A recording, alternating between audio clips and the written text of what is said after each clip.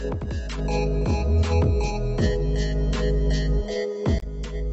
heroes, it's me Nightfall here, and today we're going to be reviewing G Fuel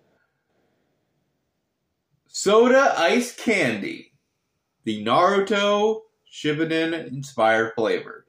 This is actually their second Naruto inspired flavor. The first one was the Sage mode, and I'm going to be reviewing it today. Here's a good look at the can for you guys. It has all your B vitamins and stuff like that that they normally have in G Fuel. It also has 140 milligrams of caffeine instead of the normal 300 that G Fuel cans have. Okay, let's get into the review.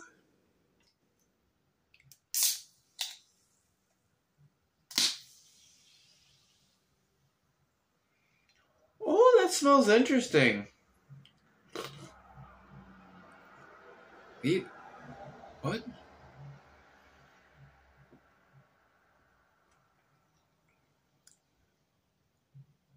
That's interesting.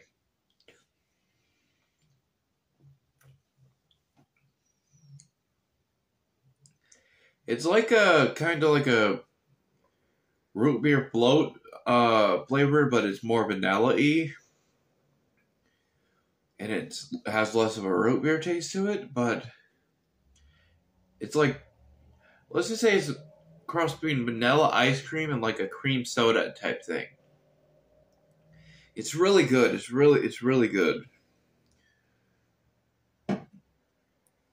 I'm gonna give this one a 9.6 Nightfall of Justice. Guys want more videos like this up faster and all that stuff, you could donate in my links in the description or check out my Ko-fi links in the banner. Also, there will be a video on one of the two sides where um, you could watch a similar video to this and Hint, hint. I'm going to link the Sage mode if you haven't seen that video yet. See you guys later. Peace. If you want to see a similar video, click the video in the middle. See you guys later. I know Heroes, and see you in the next video. Peace.